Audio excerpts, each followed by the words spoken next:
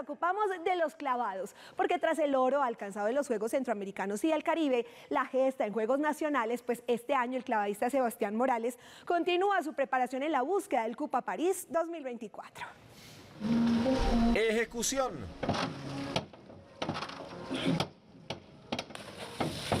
Corrección.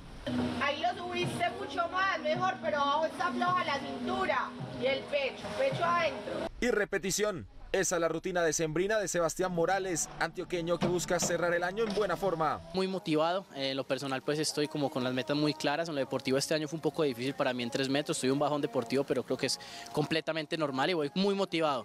Vamos muy motivados a buscar los cupos para Colombia aquí ahorita en el Mundial de Doha en Qatar.